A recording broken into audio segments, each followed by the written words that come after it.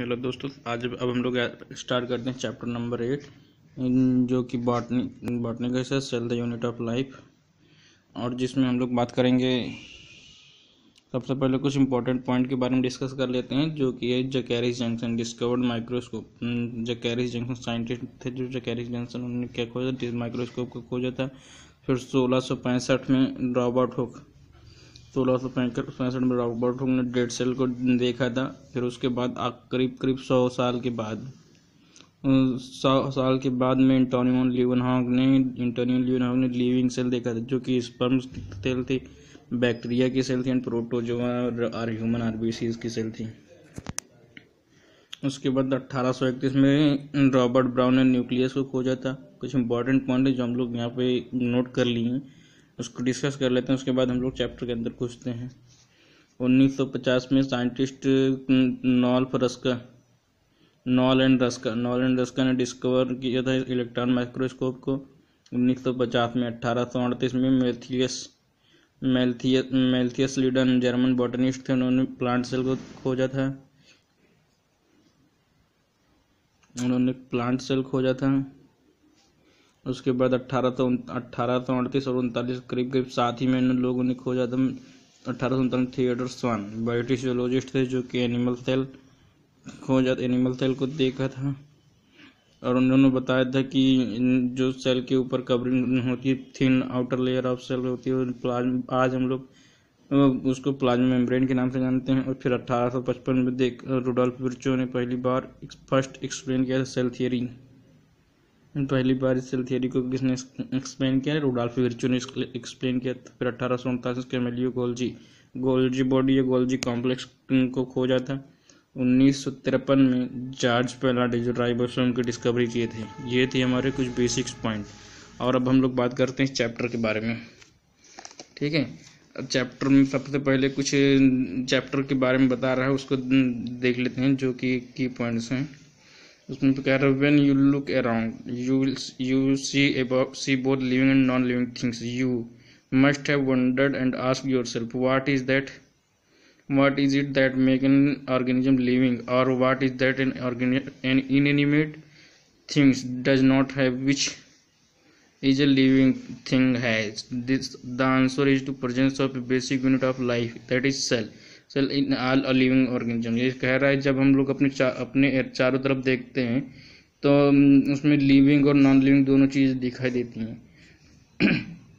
किंतु जब आप उसे देख आप चकित हो जाते हैं और अपने आप से पूछते हैं कि क्या चीज़ ऐसा है जो ऑर्गेनिज्म को लिविंग जीवित बनाए रखता है और क्या चीज़ जो अजीवित बनाए रखता है? अचेतना। इन एनिमेट मतलब होता है अचेतना। ठीक है? इन एनिमेट मतलब होता है अचेतना। कहाँ गया ये है इनएनिमेट्स इसके मीनिंग लिख लेना। इनएनिमेट भी अचेतना होता है।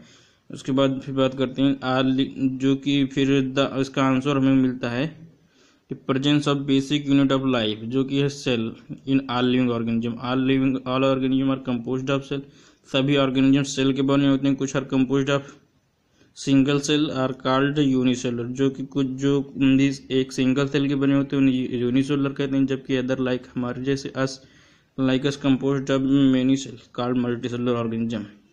ये हो गया हमारे बेसिक्स पॉइंट ठीक? अब लिखा हुआ what is the cell cell क्या है? Unicellular organism are capable unicellular organism वे होते हैं जो नंबर वन इंडिपेंडेंट एग्जिस्टेंस मतलब बिना किसी सहारे के रह सके और perform the essential function of life जो पूरा मेन जो सारे काम होते हैं, खुद एक सेल परफॉर्म करे वो यूनिसेलुलर होती है anything less than a complete structure of cell does not ensure independent living hence cell cell is the fundamental structural and functional unit of living organism इसलिए सेल को कहा जाता है fundamental structural functional unit of living organism इसका है cell Antonie van Leeuwenhoek scientist का नाम है। एंटोनियन लिवन हॉक इसको गोले बंद कर रहे हैं first first first saw and describe living life cell Robert Brown बाद में डिस्कवर किया nucleus invention of the microscope is important leading to the electron microscope revealed all the structural details of cell electron microscope की discovery के बाद में उसके structural और detail के बारे में सेल के डिटेल स्ट्रक्चर के बारे में पढ़ते हैं बता फिर आते हैं सेल थियरी सेल थियोरी किन किन लोगों ने दिए थे? मेथलियस लीडन थे एंड एक थे थियोडर स्वान। अट्ठारह सौ उनतीस मैथलियस लीडन जो कि जर्मन बोटनिस्ट उन्होंने देखा तो large number of plant cell plant को और उन्होंने देखा कि all plant are compose of different type of cell which form the tissue जो कि एक बनाते हैं tissue of plant cell which जो various type different kind of cell which form tissue of plant जो कि प्लांट के टिश्यू को बनाते हैं। And about same time Theodor Schwann साथ ही साथ में थियोडर स्वान अट्ठारह जो कि ब्रिटिश जोलॉजिस्ट इन्होंने स्टडी के different type of animal and report animal and reported that cell had thin outer thin outer layer, which is to, आज उसको हम जानते हैं प्लाज्मा मेम्ब्रेन इन्होंने ही also concluded based on the studies of tissue tissue के अध्ययन के अनुसार बताया that presence of cell wall is a unique characteristic of cell cell wall का पाया यूनिक करेक्ट सेल की करेक्टरिस्टिक है। On the basis of Schwann propose hypothesis इसी के आधार पर स्वान ने एक that is the all that is the that is the body of animal and plant are composed of cell and product of cell सारे plant and animal जो कि cell से बने होते हैं और उसके प्रोडक्ट सेल या सेल के प्रोडक्ट से बने होते हैं। दैट इज़ सेल का प्रोडक्ट क्या मतलब टिश्यू आर्गन आर्गन सिस्टम ये होते हैं।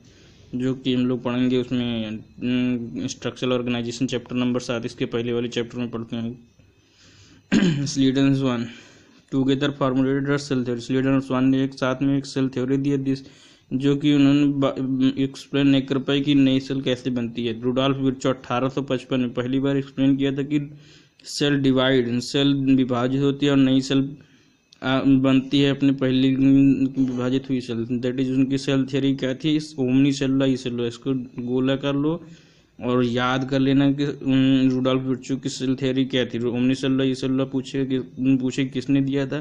और रूडोल्फ विर्चू ने दिया था। क्वेश्चन पूछेगा रूडोल्फ विर्चू किस किस सन में ओमनी सेल्लो ई सेल्लो नामक थियरी को दिया था?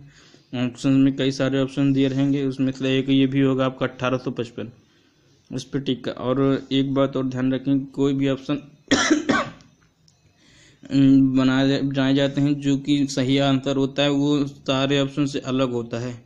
जैसे इसमें सन दिया, अठारह सौ पचपन बीस के करीब